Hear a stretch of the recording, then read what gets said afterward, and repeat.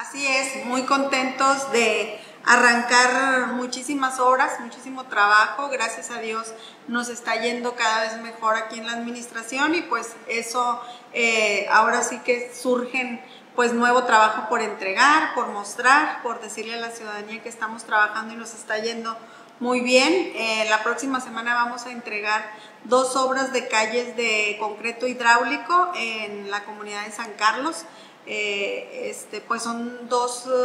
ahora sí que vialidades que nos habían estado solicitando mucho, toda vez que pues una tiene que ver con la entrada principal a una, una institución educativa y, este, y otra en otro sector también de ahí de, de la comunidad de San Carlos. Entonces vamos a hacer entrega de esas dos obras a la par de que andamos trabajando ya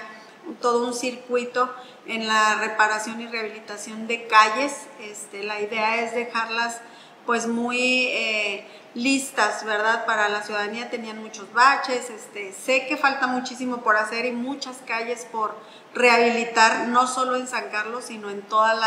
las comunidades del municipio, pero estamos avanzando, estamos iniciando eh, un circuito ahí también en, eh, en San Carlos, a la par de esas actividades que traemos, pues bueno, también te puedo contar que traemos en Divisadero un arranque de obra que vamos a hacer también, que ya inició, que me da mucho orgullo decirlo, que es en coordinación con ciudadanos. Eh, esto tiene que ver con la rehabilitación de la entrada a un eh, panteón, al panteón de, del que se encuentra ubicado en Divisadero, pero que da servicio pues a Palestina, a Muralla, a San Vicente, a Potasa. Entonces tuvimos a bien tener una reunión ahí con ciudadanos, líderes de esas comunidades, este, presidentes de comisariados, ciudadanos que, están listos para ayudarnos. Y hicimos muy buena mancuerna, estamos trabajando por rehabilitar, se tuvo por ahí la donación de un espacio, eh, de un terreno que está a un costado, anteriormente en ese panteón únicamente había una sola vialidad, aparte de las condiciones en las que está pésimas, hoy con la donación de, esa, de ese eh, tres metros más se hace doble carril y estamos rehabilitando la calle para el acceso. Obviamente vamos a tener ahí varias modificaciones también dentro del panteón, ¿verdad? Este, una techumbre, los baños que también vamos a rehabilitar, eso es ahí en, en Divisadero y que le da servicio a todas esas comunidades. Traemos también la rehabilitación de la entrada a la comunidad del Orégano, eh, una bajada que como todos sabemos, este, cada que llueve y cada que hay crecientes, pues tiene ahí sus, sus ah, daños. Eh, vamos a vaciar con concreto hidráulico, vamos a hacerlo eh, que esté muy funcional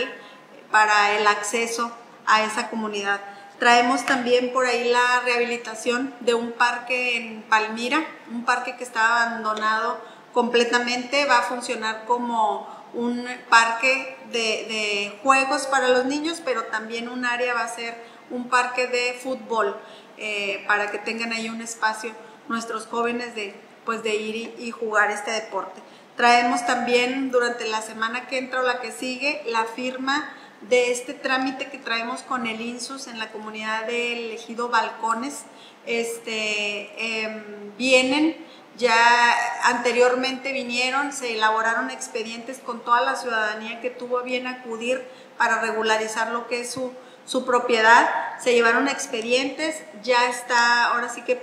eh, protocolizado con los eh, notarios públicos, nos regresan ahorita el contrato, lo vamos a firmar nosotros, lo va a firmar la ciudadanía y esto pues ya lo, el siguiente paso es llevarlo al catastro del estado para continuar luego con la conclusión de lo que es las escrituras que vamos a entregar ahí en ese sector de, de Nuevo Balcones. Traemos también en este mes la visita de la Asociación de Historiadores y Cronistas del Estado de Coahuila. Eh, levantamos la mano para ser sede de esa, de esa asociación y vienen y nos visitan 21 y 22. Los vamos a tener aquí con nosotros, les vamos a indicar pues nuestra historia, una ruta eh, de la historia de aquí de Jiménez y pues vamos a darles nosotros la bienvenida. Traemos también en el tema de obras públicas y de CIMAS unas ampliaciones de red que estamos haciendo en el sector de eh, la cascajera, le nombramos todos allí en, en San Carlos, también un, sector que requiere muchísima atención de parte de la administración y pues ya empezamos, ¿verdad? Eh, todo eso traemos ahorita trabajando aquí en la administración.